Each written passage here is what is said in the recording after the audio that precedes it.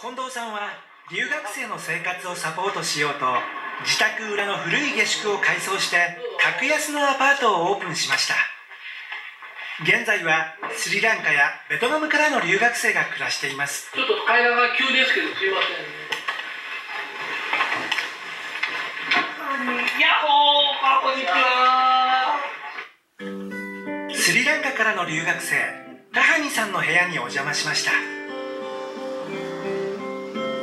この部屋の住み心地っていうのはどうですか？Very convenient.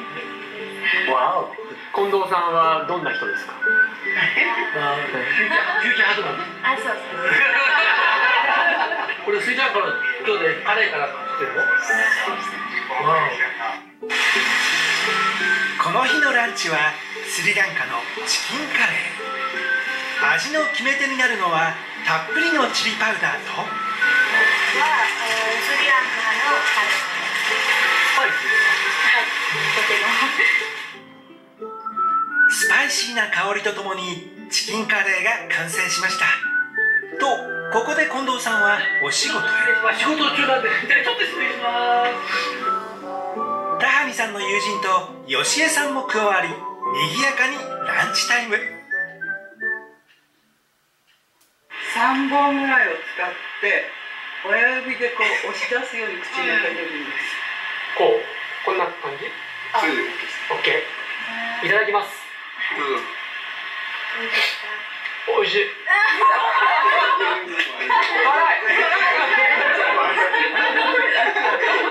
ーこれチリが強烈だどっちがい。いですかあれ美味しい美味しい美味しい。美味しいです。ありがとうございます。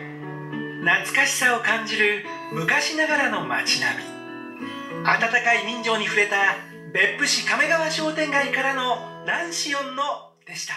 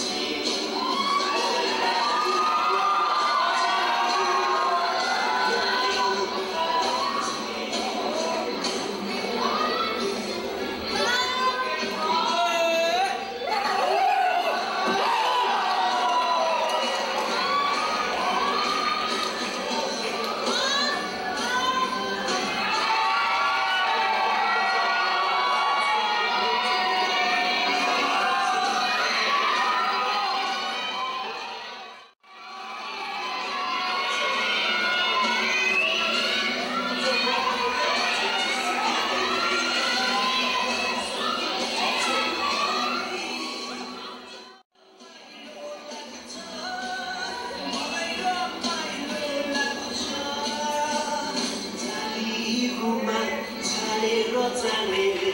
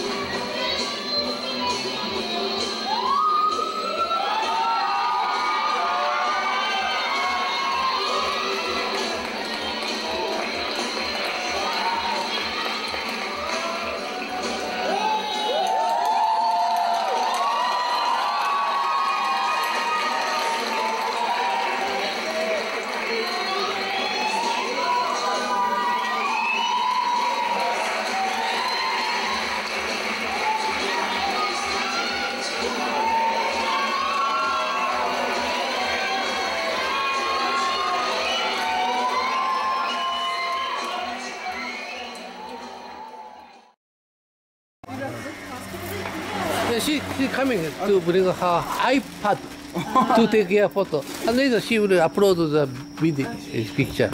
Wow. Wow. Wow, I miss you. Uh, okay, just, I'm now taking the video. Oh. Okay.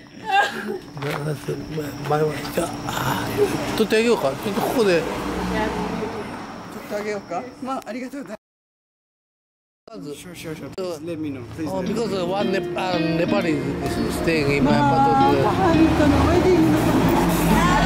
Ah, this is the wedding there. The wedding there. You stay in German for two years. Two years. And you also two years in Singapore. Three. Wow, one year difference. Something kuch kuch hota